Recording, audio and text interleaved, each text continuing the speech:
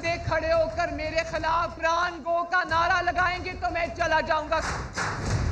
लाहौर से गुजरावाला तक लोगों का एक ही नारा था, गो न्याजी गो न्याजी गो न्याजी। गुजरावाला में पीडीएम की तरफ़ से अवामी कुत का मुजाहरा जलसा रात दो बजे अख्ताम को पहुँचा। मरियम नवाज़ ने खिताब में कहा कि हुकूमतें अवाम के वोटों से आनी चाहिए और किसी को हक नहीं वोट को इज़्ज़त न मिले तो अवाम का वही हाल होता है जो आज हो रहा है। आटा चीनी माफिया सबके सामने है। इदारों के एक सफ़े पर होने के दावेदारों को पता होना चाहिए। सफ़ा बदलते देर नहीं लगती। पनागाह जाने वाले को बता दो, तुम जहाँ भी जाओगे, आवाम तुम्हें पनाह नहीं देगी। खोल के सुन लो इमरान। ये हर पाकिस्तानी का नारा है। ये गुजरा वाला का नारा है। कि कश्मीर का सौदा नामंजूर कश्मीर का सौदा कश्मीर का सौदा कश्मीर का सौदा। बिलावल भुट्टो ने जलसे में कश्मीर का सौदा नामंजूर के नारे लगवा दिए। तब्दीली सरकार ने पाकिस्तान की मीशत तबाह कर दी। सकूते ढाका के वक्त भी ऐसे हालात ना थे।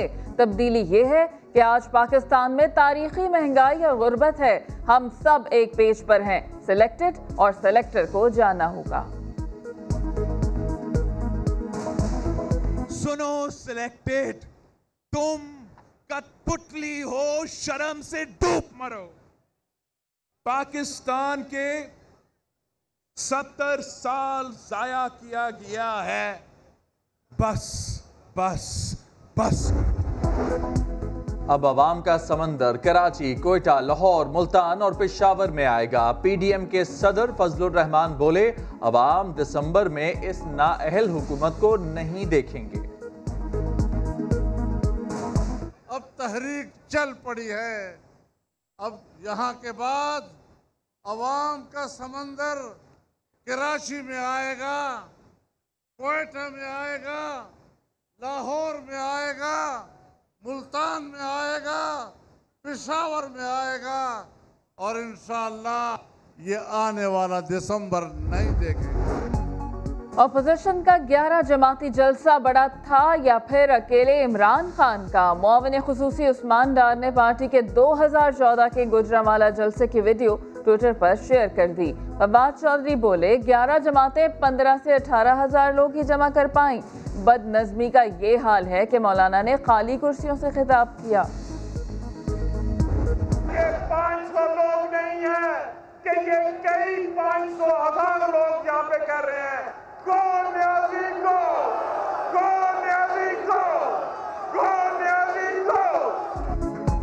हज़ारों लोग हुकूमत के खिलाफ जमा हो गए। अब तो इस्तीफा दे दो। ख्वाजा आसिफ का जलसे के शुरा से खिताब। शाहिद खाकान बोले, इमरान खान को लाने वालों को भी आज नवाज़ शरीफ याद आता है।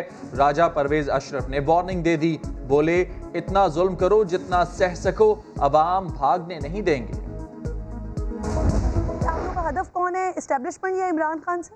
अभी तो इमरान खान को छोड़ेंगे। इमरान खान के पीछे हैं फ़िलहाल। ये छोड़ दें कि पीएमएलएन में दो बयानी है।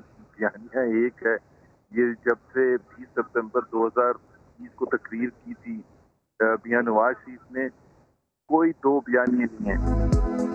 नून लीग अपने ही बयानिए से पीछे हटने लगी। हमारा हदफ इमरान खान को लाने वाले हैं नवाज़ शरीफ का बयान। हदफ इमरान खान ही है। नवाज़ शरीफ के तर्जुमान मोहम्मद जुबैर का नया बयान। कहा कि वक्त के साथ हिकमत अमली बदलती है। हदफ कैसे बदल गया? समा के सवाल पर मोहम्मद जुबैर जवाब ना दे सके और लाइन काट दी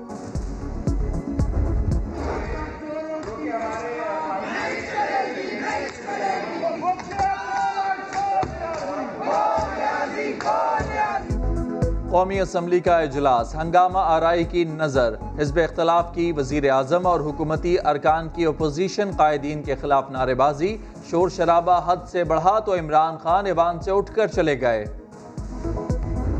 आसान रास्ता है। ज़िंदगी आसान हो जाएगी, चुप करके आराम से हम भी पार्लियामेंट में तकरीरें करेंगे, चार, तीन साल गुजर जाएँगे। लेकिन ये तबाही का रास्ता है। ये ये याद रखें कि जो आपकी बेहतरी का रास्ता है वो हमेशा आसान नहीं होता। जलसों से हुकूमत नहीं जाने वाली। डाकुओं को एनआरओ दे दूँ तो ज़िंदगी आसान हो जाए, मगर ये मुल्क के लिए तबाही का रास्ता है। वज़ीर आज़म इमरान खान अपने मौकफ पर कायम, बोले कि समझौते नहीं, मुश्किल फैसले मुल्क को आगे लेकर जाते हैं। ऑपोजिशन को डर है कि हम पाँच साल पूरे कर गए तो उनका मंजन नहीं बिकेगा।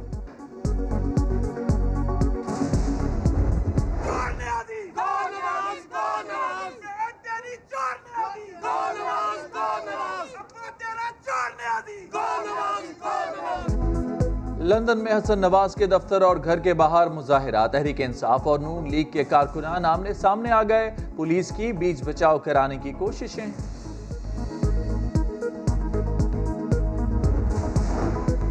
अठारह अक्टूबर को कराची का जलसा कामयाब बनाने के लिए पीपल्स पार्टी, एड़ी, चोटी का ज़ोर लगाने लगी। एक लाख अफराद को लाने के दावे।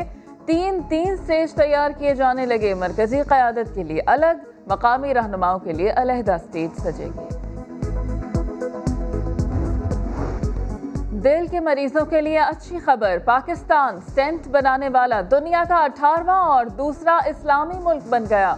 वज़ीर आज़म इमरान खान ने नस्ट में मंसूबे का अफ्ताह कर दिया।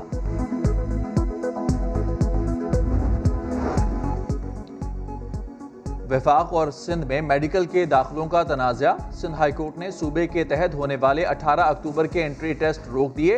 वफाक, पीएमसी और दीगर फरीकैन से जुमेरात तक जवाब तलब कर लिया।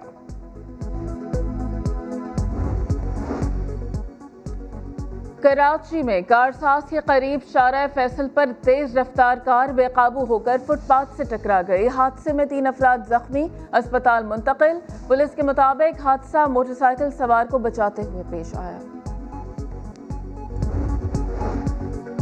पिशावर इस्लामाबाद मोटरवे पर हजारा इंटरचेंज के करीब तेज रफ्तार कार बेकाबू होकर खाई में जा गिरी। एक मुसाफिर जाँ बहक दूसरा जख्मी।